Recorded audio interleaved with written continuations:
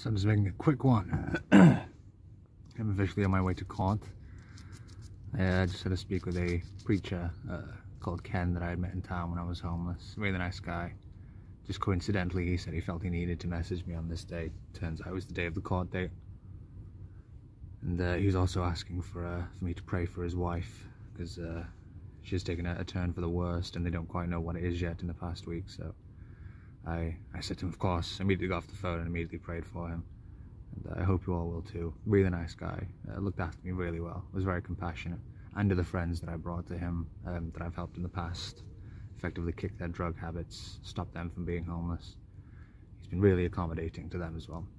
However, this video that I wanted to make very briefly while I have a cigarette before I go uh, was just to say my solicitor had applied with the Crown Prosecution Service again to get access to the entirety of the body cam footage again that they've refused to give us nor supplied us with a list of the unused evidence from which we can pick what we wish to use uh, that would be relevant to our defence. My solicitor walked over to the court building this morning to speak to that prosecutor. I know this never works well when I'm smoking on camera. You like this by the way? Court swagger. I'll put a picture up of the full thing. It looks a bit uh, baggy because I have to be hunched over in this thing because it got broken into. You're going to notice this thing just caves in further and further. It's going to look like I'm wearing a fucking Ku Klux Klan hat by the end of these vids. So we walked over to the courthouse and asked them uh, whether we could finally see the entirety of the body cam footage today before court and the Crown Prosecution Service alerted us to the fact that they themselves do not even have, have not even seen the entirety of the body cam footage of the male police officer uh, who is alleging that I intimidated, harassed, effectively gave him PTSD from uh, my interaction with him, the interaction in which he called me an asshole and threatened to break uh, personal property of mine, the most sacred religious icon to the Christian faith worldwide.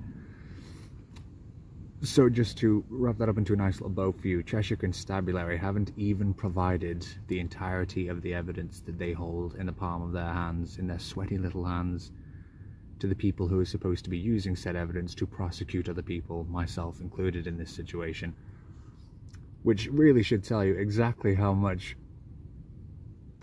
at this point, Cheshire Constabulary, or this one police officer, this one Palucci in particular, is actually fearful of what is on that body cam footage. And I'm beginning to think, is there something I've forgotten? Because I was still pretty drunk that morning when it happened from the night before. Has he done something else that I've completely forgotten about that is so much worse that would make him look so bad, potentially even get him fired? Cheshire Constabulary, what are you doing? What are you doing? You aren't even providing the evidence to your own prosecution team. You are picking the poo out of your own winnets and eating it thinking that nobody is looking. We've got you. We've fucking busted you on every single turn this again this just goes to show you cheshire constabulary won't even work with the crown prosecution service in fear of what might come to light that cheshire constabulary have done. Committed. I will use the word committed because they have committed offenses uh, many offenses here. So i still have a few other things to do before i just chuck a bag with a friend and then head off to court. Likely to get adjourned today i assume. If not i know what i intend to do in court God bless all of you. I don't want to ramble on this video. I want to finish my cigarette in peace and, and be gone because I just I want to see this. I want to see this clown show, this circus show roll out. Quite frankly, I wish I could live stream it to all of you as well. Don't tempt me. Don't tempt me. Uh, incoming a picture of me in full court swagger. Hope you enjoy, ladies and fellas. So I just wanted to make one more point of grievance against this officer. I'm just curious as the reason that he has not submitted the entirety of his body cam footage to the actual lawyers who would then actually be able to go through it and charge appropriately with the appropriate evidence is the reason that he has taken this upon himself perchance for the fact that he has deleted uh, any of the other quote-unquote relevant evidence. Obviously my solicitor and I know from the file names that there is at least one clip that has been removed from evidence. Uh, and clearly not by the prosecution service because they've never had full access to it. It has been selectively edited by the Palucci. So yes, this officer, has he perhaps entirely deleted some of the offences that he committed. And that's why the Crown, the Crown Prosecution Service has never actually received the entirety of the evidence themselves. Naturally, the Crown Prosecution Service could also be lying, however, I would like to think that lawyers have a bit more respect for the actual letter of the law than the fucking grunt people, the henchmen, that get off on a power trip by claiming to enact the law while secretly just wanting the power that comes with it.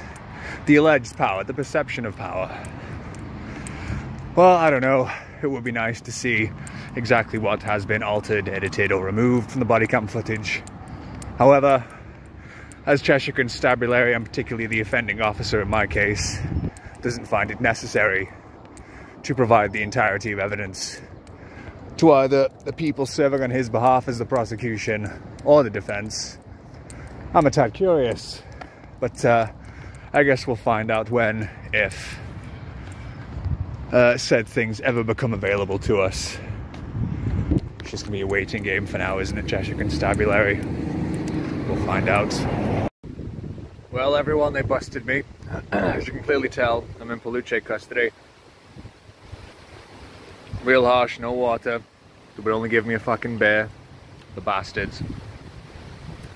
Now, the, uh, the the court case has been adjourned, as we presumed it would be, uh, simply for the time that there was already a court case going on that was continuing, so they, they wouldn't have time for no matter what. But also, as my solicitor has informed me, because the uh, Cheshire Constabulary and the Crown Prosecution haven't even begun their legally obligated duty of disclosure, disclosure of evidence uh, to the defence. Uh, we, let's say, we, we just we aren't ready for trial. It's not the fact that it's nothing to do with us. It's not the fact that we aren't ready for trial mentally, logistically, logically. Uh, my solicitor and I are very ready for this trial. Believe me, with what little we do already have to work with, uh, we have. I don't want to say everybody because this involves personal people to me that I genuinely don't hold a grudge against. As far as the Paluche go, uh, we are absolutely ready to take these people to trial, stick them in the frying pan, throw a little butter in there, tan that ass, make it nice and brown, and then we feast. Uh, but of course, it's not been able to do today. I did have to, uh, I did uh, say to my solicitor, my proviso is going to be, uh, provided I can talk to the court openly, just so it's on the record, not that I expect the judge to be able to do anything about it. Uh, if I would plead uh, guilty to certain other offences. Not that I'm saying I'm guilty, but I would simply not at all try and protest my innocence in any manner provided. Instead of spending that time in court when I would be fighting for my innocence, I would instead use that to tell the court about what happened to me in the Cheshire branch of Guantanamo Bay. Uh, it didn't happen because they simply didn't have time for the case at all. The judge did allow me to speak very briefly, uh, not, not because he told me to shut up or anything, just that I realised I didn't have a lot of time to spend, so I tried to be as respectful as I could. And uh, I, made, I did make the judge very aware that uh, effectively I, I, didn't want to do, I didn't want to put the this stress of this whole court case on certain other people are in my life. Like I, uh, that that's not who I am. It's again, that's I can't really talk about anything legally just for the fact that it's officially still an ongoing case. Uh, but they also that the, uh, the, the officer who uh, was so intimidated and harassed and afraid for his own life. That, that wasn't exactly what he said. He didn't use the full life bit, but claiming he was uh, alarmed, distressed, and intimidated uh, by language I'd used. Called him an asshole. He called me an asshole. Then went on. Once he'd already removed all my personal property, he then decided afterward to he would also have to remove my necklace, threatening to break it, because of course he was in such distress such little distress, weren't you, Paluche? Uh, they then came to me because they've gotten a whiff of decency from me and me saying, listen, my issue isn't with these other people that are trying to bring uh, allegations against me. I'm willing to, provided I can speak to the court about uh, Cheshire Constabulary, I'll plead guilty and I'll let them other people just, just walk away. Effectively, just walk away. They don't have to ever deal with this again. It's fine. It's fine for me. Uh, the prosecution and the Paluche got a whiff of that and just thought, hey, we can work something out here. And they decided it would be appropriate to instead offer me a change in charges from, uh, instead of causing PTSD to an officer, instead just try and charge you with using abusive language in public. Uh, and then a complete guilty would all be done with today. And that was not for the fact that they wanted uh, me to have the pleasantries of all of this being over and done with. That was for the fact that the Palucci officer, obviously, obviously, as he has done, deleting body cam footage, uh, refusing to hand over body cam footage, he simply doesn't want to be made a complete tit out of in court. Complete tit out of in court. And as I said to my solicitor, no, no, no, no. Didn't even have to think about it. I mean, I thought about it for a split second and then just the righteousness within me just said, corrupt authority? I don't think so, mate. You're not going to allow yourself to weasel out of this thinking that I would happily accept a more pleasant life and the fact that I won't be living in a tent for however long, uh, and for whatever the situation may be, just for the fact that he can then get away with what he's doing. You don't you don't quite understand the logic that I'm coming with here. You aren't getting away with this, Cheshire Constabulary. You are never getting away with this. You may have been able to do this to other people, as you did whilst I was also detained, and whilst I know, since I have heard of the stories since, the horrific, the horrific crimes and breaches of basic human rights that you commit against the people that you're supposed to be protecting whilst they're in your idea of care. So I said to my solicitor, of course, no, no, no, no, no, no. That's not going to be the way it works. I may do a favour to the people that are making allegations against me. Because I still love them. Of course I still love them. As you guys know, it's a family matter. Still absolutely love them. Don't want this to be the case. But I can. I can fight my innocence. And I rightfully should. Uh, for just for many different reasons. But... Uh,